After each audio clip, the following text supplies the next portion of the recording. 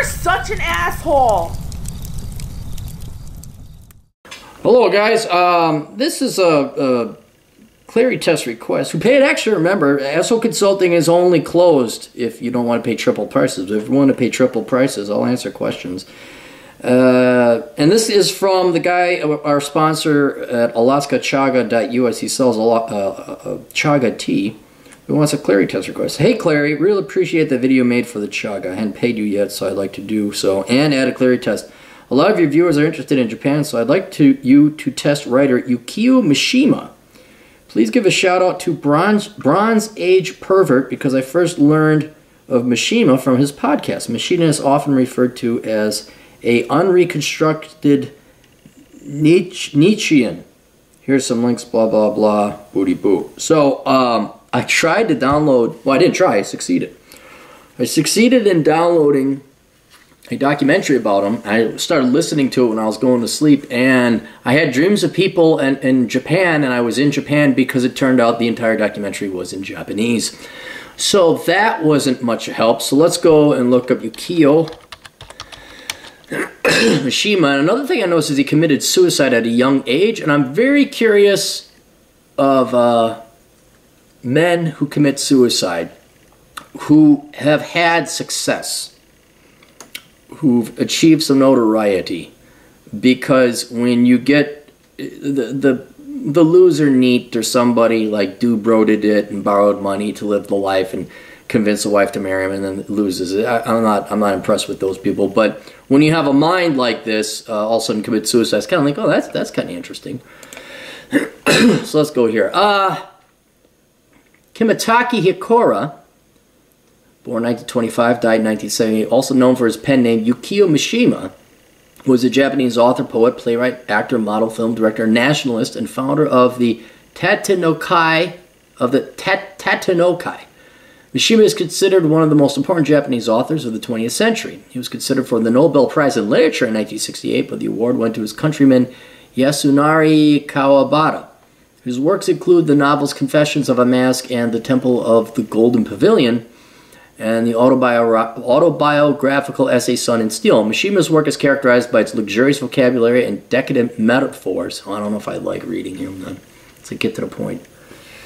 Its fusion of traditional Japanese and modern Western literary styles and its obsessive assertions of the unity of beauty, eroticism, and death. Interesting. I'm starting to believe more and more in um, beauty. Uh, as in I don't know what else there is between the sexes. But beauty's on the inside.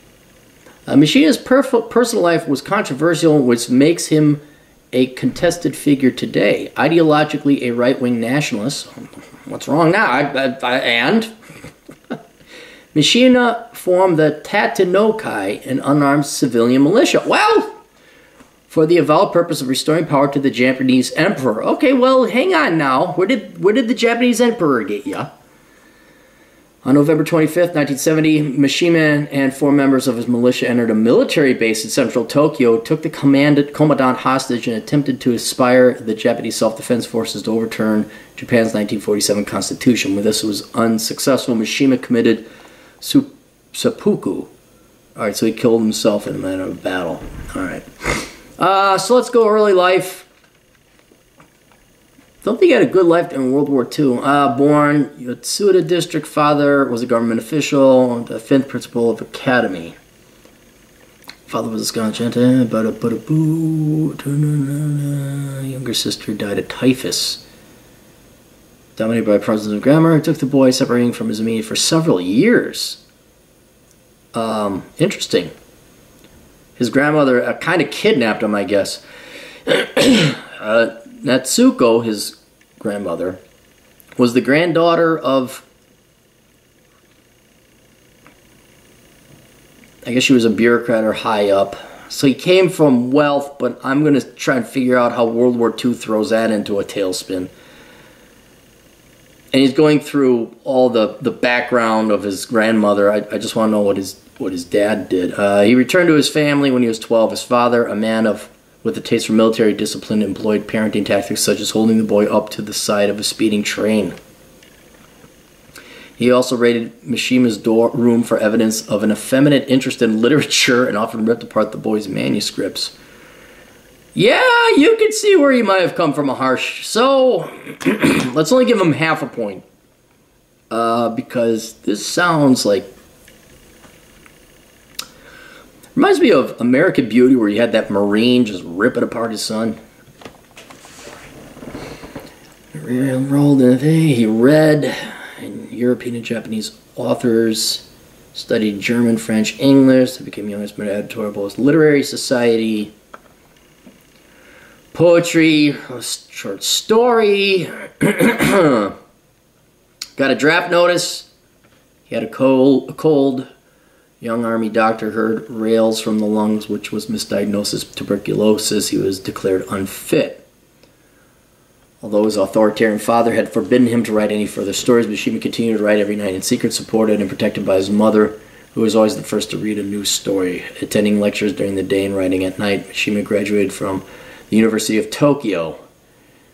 Obtained a position in an official government finance ministry, set up a prime career. Mishima exhausted himself so much his father agreed to his resigning from the position of first year employment to devote himself to writing. Okay, so Sounds like an academic. I'm, I'm going to give him a point against it. What his degree was, I don't know, but I'm going to guess it was in literature. And we could say any degree was a good degree back then. Half a point still. And he goes right to government.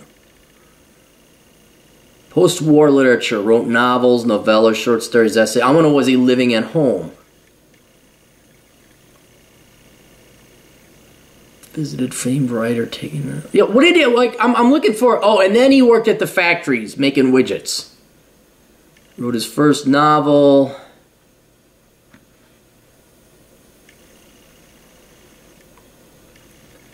acting and modeling okay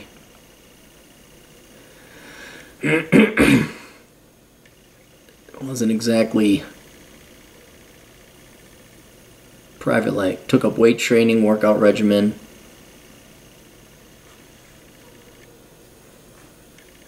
Martial art. Uh,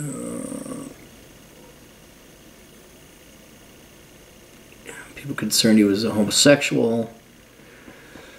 Went basic training ground defense forces, the militia. I, you know what? It looked like he just wanted to be a poet and an author. I, I kind of but back in the day and coming out of war, what was there to do? I'm sure they needed reconstruction. All right, so half a point coming from wealth. He only gets half a point because it was a fucked up childhood. So that ad, ad, uh, adversity is considered. I'm gonna assume, even though any degree was a good degree, this guy seemed to have no work ethic. Like he didn't want to, he just wanted to write. Uh, so he's getting another half a point for a quasi stupid degree.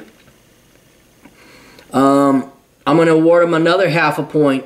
Yeah, he did write. I'm sure he made some money in, and he did have some uh, private sector experience, but kind of like.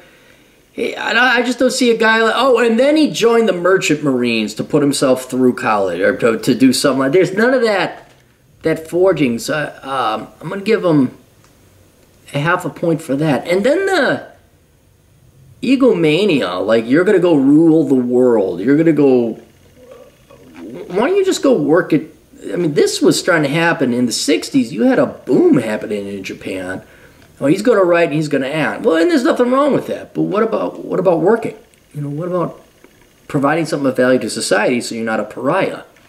Maybe he was making enough money on his book. I, I still, so we're going to go one and a half.